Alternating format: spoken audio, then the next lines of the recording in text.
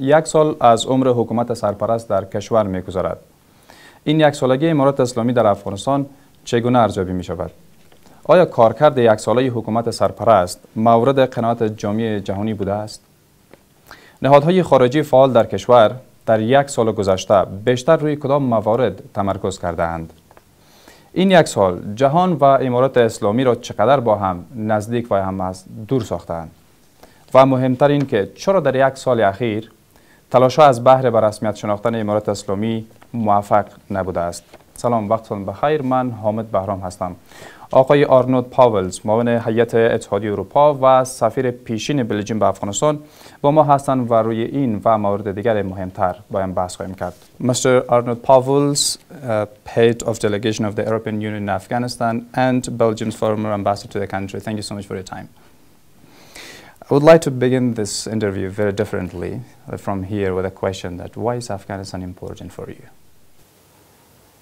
I um, was sent by my country uh, 10 years ago here to Kabul. So I arrived uh, around now, um, not knowing the country very well, but uh, quite quickly uh, getting attached to it, uh, attached to the, to the people, uh, to the country itself. It's a beautiful country. I was able to travel, able to work, um, and see also the resilience and the pride of, uh, of the people of Afghanistan. Also, they're suffering because of the violence. And uh, well, uh, 10 years later, here, uh, here I am still, uh, but closing uh, perhaps a chapter in my life. You're quite familiar with the Afghan culture, with the Afghan society right now. It's been 10 years you're spending your time. How did you find the people in the country and how, in the past 10 years, what changes have you seen? Um, the, the people themselves very hospitable. Uh, every time uh, people want to invite you for tea or for lunch, for dinner, even at a normal meeting, uh, I've often heard, oh, but uh, why don't you stay for lunch or for dinner? And uh, this is something that really touches your heart. If you then have food, uh, the amounts of food are, are rather big. I think it's to show also how welcome you are um, an openness to share uh, without fear. Um, this is not everywhere in the world the case. So I think these are all elements to be proud of. Uh, Afghans are proud of their country without being, um, you know, not in, an, in a positive way, proud of their country uh, and welcoming other people to their country too. It's been now uh, a year that the Islamic uh, Republic, uh, I mean the Islamic Emirate of Afghanistan are ruling the country. How do you evaluate the last, the past one year in the country, in Afghanistan? Well, the, uh, there were enormous changes um, after uh, August last year. The uh, economy uh, suffered a lot, uh, and immediately there was an effect on the people. The international community, the UN agencies, the donors, including the UN, reacted immediately by increasing uh, the assistance to the people of assistance of all kind. We also have to know that the country was already uh, vulnerable. Uh, there was drought. Uh, there was uh, there were effects of climate change. Um, so it was not exactly in, in the perfect shape. Also because, of course, of a long armed conflict that uh, drew that came to an end last year. And what were your expectations from the Taliban in the, in the past one year? We, as a European Union, we were not directly involved. There was a bilateral agreement between the Taliban and the United States. Uh, parts of those agreements are public, others not. Uh, after that, uh, in their bilateral agreement, um, Taliban had agreed to negotiate with the Republic or representatives from Afghanistan a, a peace agreement, uh, a, a, power sharing agreement. I think it's fair to say that those negotiations were uh, never done uh, in fairness or in seriousness. So, from which side, I, I like? Uh, from the Taliban side, uh, I think the uh, other Afghans around the table tried seriously to find solutions whether they had the full support um, from where they needed that support, that is an open question. Uh, and I'm not going uh, to go into that here. Um, the, um, from what we learned from those uh, talks was there was uh, a wish and an agreement from the Taliban to find an uh, understanding with the people, with their own uh, country, women and men, uh, to find uh, a way forward, to find a model for society, a political model for society where everybody could live. That has not happened for many reasons. Um, I think I explained one of them. Uh, perhaps it was not the intention uh, to reach such an agreement, but, but perhaps it could have been had there been more time. Who knows? Uh, right now, we are in a situation where there is no power sharing, where all the power is uh, exclusively in the hand of one group, uh, the Taliban. And uh, we think this is not a good recipe for uh, stability and growth in the country or for the well being of the people. Do you think that there might be another chance for the Afghans to go and around the table and sit and find a very political solution for the crisis that happens in the country? Well, as um, as diplomats uh, in a country, you are an observer. You you see, you speak, and you support where you can, but we remain a guest and an observer. So it is for the Afghans among themselves to find uh, solutions.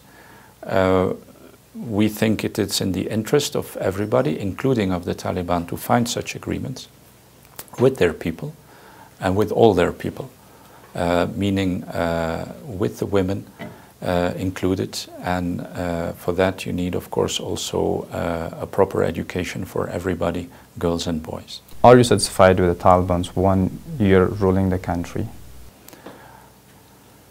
Some people would be tempted to answer that question in, with an easy yes or no, uh, depending on where they come from. Uh, I think in my position, it would not be fair to uh, to use that answer. I think it's uh, I wouldn't call it nuanced, uh, but I do think that in the interest of uh, looking ahead, looking at the future, we cannot speak in black and white terms. There are groups in the country right now who suffer enormously. I'm speaking of women. Many were uh, asked to stay at home. But it's very delicate for us to enter in that discussion because when I raise that question, I get the answer like, but sir, with all due respect, but it's only now that women in this country are properly protected. We uh, give proper Islamic protection to the women. It becomes difficult to, to have a conversation on that. It's about um, when we speak about inclusivity, we speak about uh, including everybody in this country in some form of government. So we have to look at the future. Uh, what we see is that uh, the Taliban government is trying to move forward with major infrastructure projects mm -hmm. like railway, gas lines, electricity lines. Recently, there was uh, the opening of the uh, Kajaki not the opening of the dam, but an, uh, an improvement in energy production. These are positive steps. Uh, probably to continue on that path, you need a, a stable uh, society uh, and you need uh, a quality government where everybody can contribute and feel as well. So these are uh, elements that we cannot, um, you know, um, hide away under the carpet. But fundamentally, there are, uh, of course, serious issues. And I think one of them uh, happened recently. It, it, uh, it, brought to our attention that uh, there are very clear commitments from the Taliban side regarding terrorism. Uh, and we expect them to fully abide by those commitments.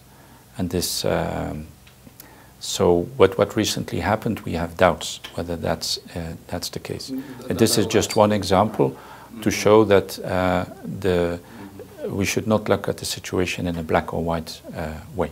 Okay, and, and how did you draw or delineate the EU's policies considering the Taliban's one-year rule in Afghanistan? The EU's policies in Afghanistan were set uh, 11 months ago uh, by the Ministers for Foreign Affairs on the 21st of September. Um, they agreed to continue their engagement for peace uh, with Afghanistan and for Afghanistan. And, and there were five, five benchmarks, five elements that are uh, of uh, great importance for us.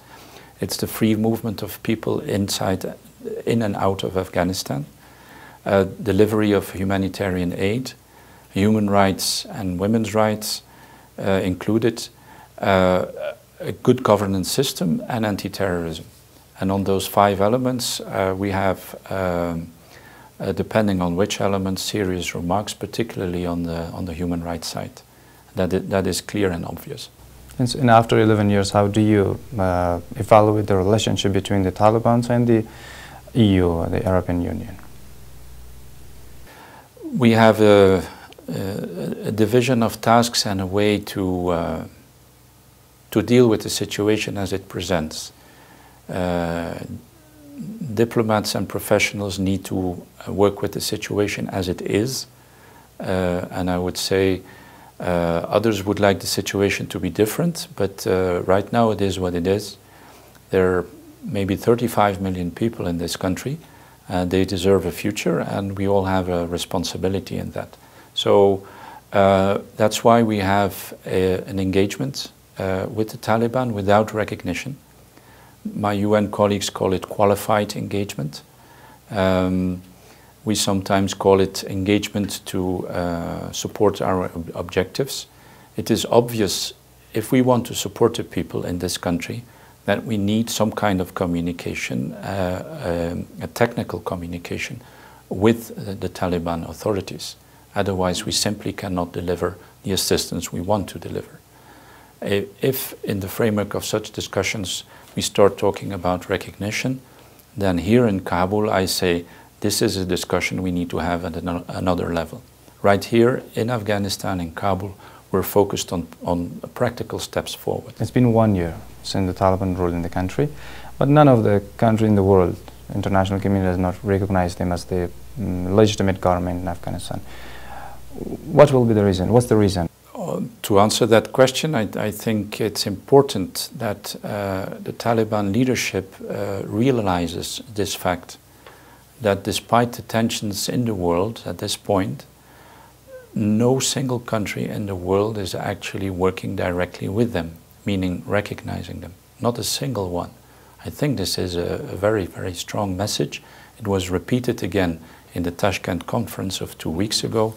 Uh, Uzbekistan did a great job in organizing that conference, but uh, we think that um, we would encourage Taliban to uh, engage uh, more thoroughly with those countries united there uh, all of them had very, very similar messages, expectations.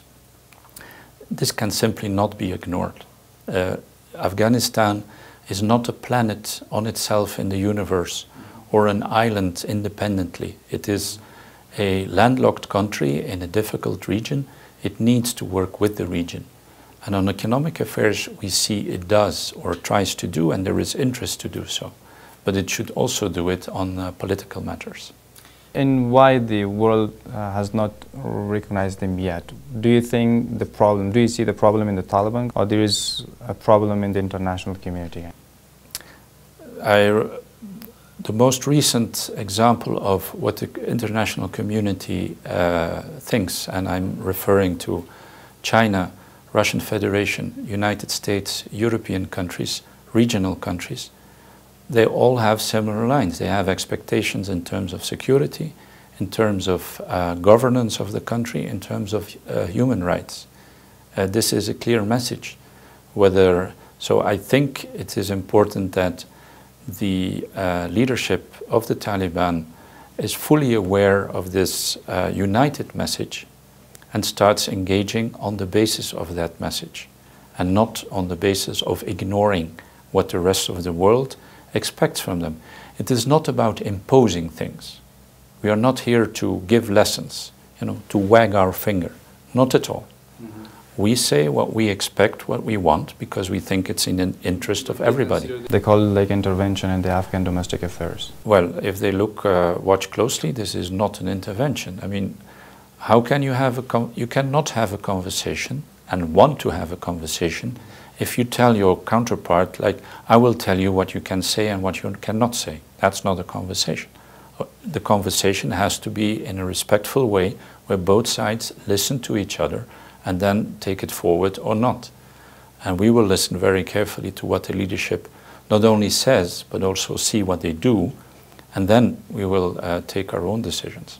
The international community demands from the Taliban ethno-political uh, or inclusive government, human rights, respect to the human rights issues, and some other demands. But in response, the Islamic Emirate of Afghanistan very clearly says that we are committed to these these issues and we mm, are uh, like respecting all the issues that they are asking. Then where's the problem? They're blaming the international community, and the international community see the problem in the Taliban. Where the, exactly the problem is in between? I think to have a good look at this situation, we also need to, to look at, um, at the past, at the history.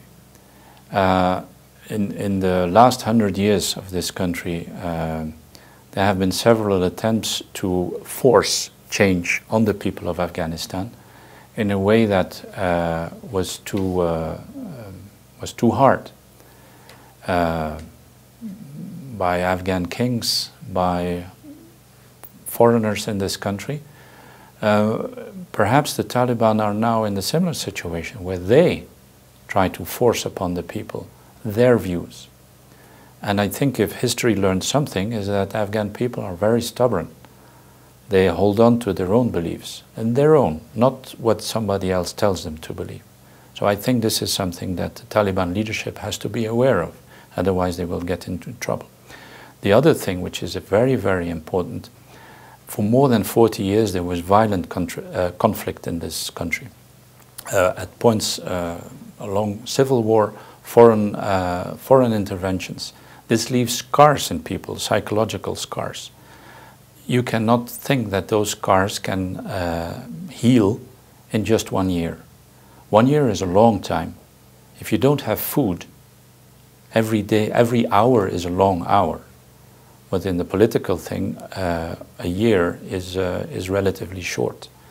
I think it's important that we look at the future, and I see this as the mission of the EU delegation here in, in Kabul, along with my UN and other colleagues, is to look for common ground. Which are the grounds where we can uh, work together? Um, again, uh, taking into account the political realities of non recognition, but work together. For example, um, I, there's one uh, clear expectation from the Taliban uh, authorities. In almost every conversation, it's about taking care of drug addicts in the form of um, it's a healthcare issue, a social issue. This is something where we could uh, see what we could do uh, together. Uh, it is not ideological and, and it's a positive step. And, and so for, for other things as well take small practical steps forward. But we remain with a huge problem, uh, which is the fact that uh, women can't go to work and uh, girls can't go to school. This remains a huge problem. And that's the red line for the EU international community too. It is a huge problem for this country. Um, and uh, this, is, this is very clear, and not only for the European Union, for the entire world.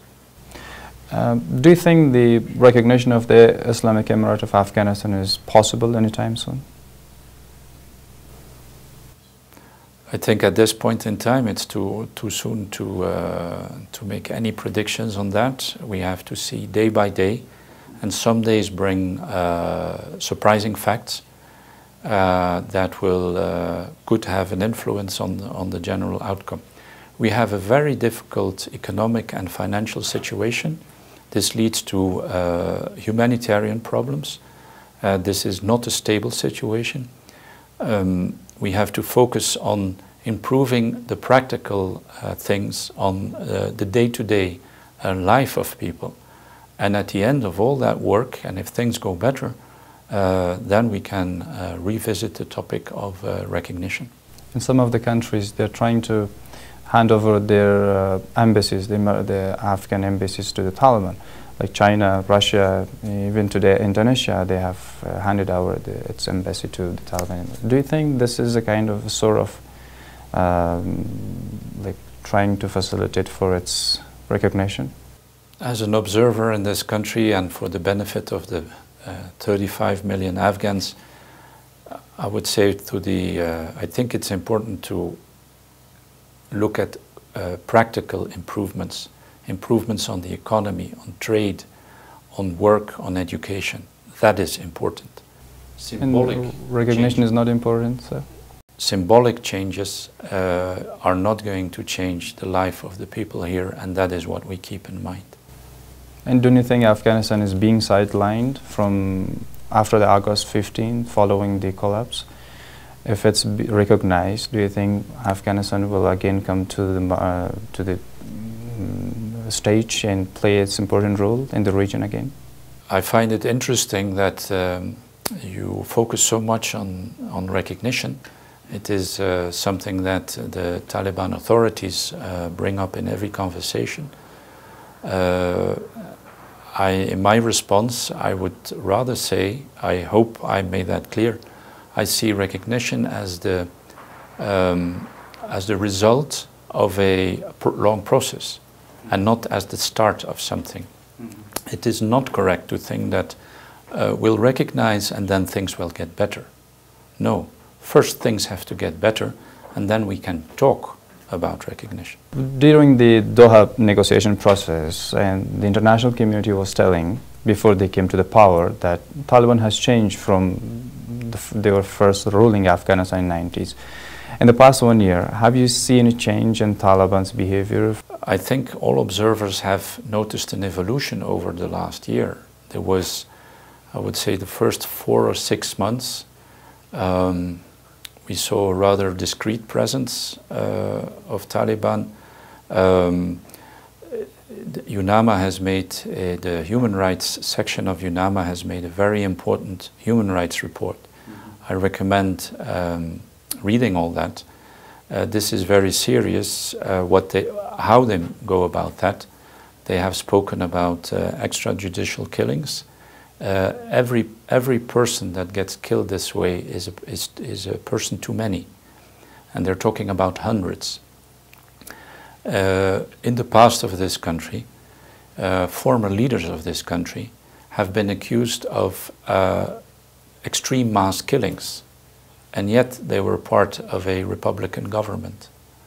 Um, we have to see the entire history of this country, who ruled it in the past 20 or 40 years and look uh, everything in, into perspective. Um, I speak to many people, uh, including people, uh, of course, very close to the Taliban movement, and to uh, people who uh, are proudly say, I am a Talib. And they say to me that they are surprised themselves of the uh, turn of events of certain policies of their leadership. And I think this is clear as a diplomat, again, we observe. And we observe there is discussion in the society. We also saw that um, the supreme leader had asked not to be uh, public in those uh, dissent. One of the 11 points coming out of the ulema gathering was, you will not criticize me. Um, this is not a recipe for success, I think. There is discussion in the country on girls' education in particular, and I think we should observe that. So have they changed? Uh, maybe yes, maybe no. Uh, it is a diverse movement uh, with, a, with still a strong leadership. I, many people say whether the Taliban have changed or not, we don't know. What is certain is that Afghanistan has changed. So uh, perhaps they will have to adapt to the new Afghanistan. And uh, so many things happened, sort of measure uh, in the last, in the past one year. One was uh, the killing of uh, Ayman al-Zawahiri, the Al-Qaeda leader here in Kabul, not hundreds of meters even from here. What did you feel when you got to know that he was killed very close to your office? it's uh, of course a surprise um, that uh, the planner of uh, major attacks in the past against U.S. interests, international interests, was living a life uh, without uh, hindrance uh, in a capital where you yourself live, perhaps on the street where you pass. This is, of course, a, a surprise, and for, for many colleagues also a, a shock. Um, it is uh, a warning uh, to everybody, uh, including to the interim government, to the de facto authorities, that uh, uh, terrorism is important, serious, and not going uh, away. Um, you know, in, in, in, literature, they speak about creating a, a Frankenstein monster. It's a, it's a book of 200 years ago but it's an image of um, you, you create something and at some point you lose control over it. And this is also what could happen with uh, uh, people in Afghanistan who are known to have connections to uh, uh international terrorist organizations, whether they're ISIS, Al Qaeda, uh, TTP, ETIM, or others.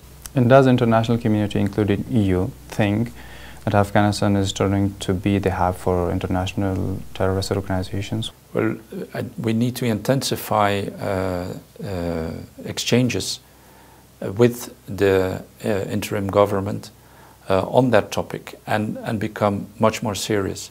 Engaging doesn't mean trusting. I understand the Taliban don't trust us, and perhaps they can understand that we don't trust them. But that's exactly our challenge uh, to, to work on practical things. It is in the interest of everybody. We cannot repeat the cycle of violence. Violence should no longer happen in this country uh, by anybody. Problems should be solved in a peaceful way. This also means letting people demonstrate, freedom of media. Uh, this is also a very important topic. Afghanistan was a, a, a, beacon was the number one in freedom of media in the, in the region. And this is of high value. Uh, it should be reinstated. You have evaluated the past one year, the Taliban ruling. What mistakes they were committed and what suggestions do you want to offer them in order to rectify those mistakes? If they want to be engaged with the international community peacefully in the spirit of um, expressing our opinion and without wanting to give lessons. But the, the number one issue is uh, girls going to school. It's absolutely the number one issue for the European Union. The second one is allowing women to go back to work. And the third uh, uh, are, in general, human rights, freedom of media, respect for the rights of life, no extrajudicial killings. And um, after that, it is about uh, building a, a more cohesive political system, uh, and that is for all Afghans uh, to decide uh, the way they want to see that. And uh, what's the future prospective uh, policies of engagement with the Afghans and from the EU side? What will you most focus on? The EU will continue to engage with Afghanistan for peace. Uh, we have uh, um, raised the amount of money we spend in Afghanistan, both on humanitarian affairs and on basic needs and livelihoods. Millions of uh, children, millions of people have in some way been reached by European uh, assistance. In the, in, uh, with, uh, with food, with medicine, uh, with, with money, cash for work. Uh, we support uh, jobs, um, uh, small enterprises.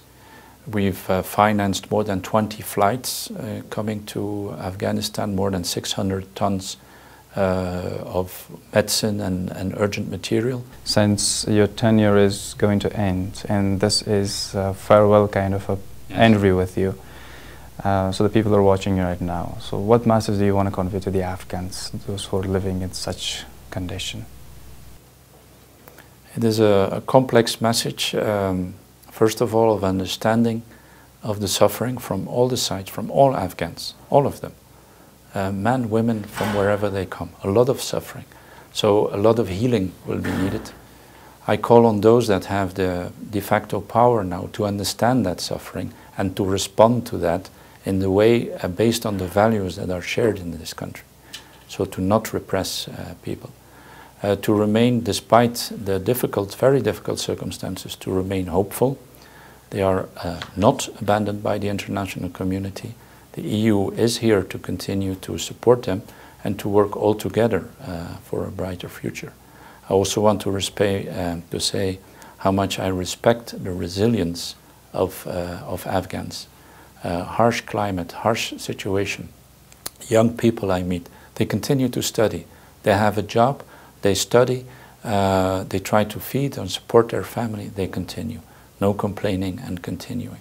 Mr. Arnout Pauwels, Deputy Head of Delegation of the European Union in Afghanistan and Belgium's former ambassador, thank you so much for your time. I really appreciate that. Thank you.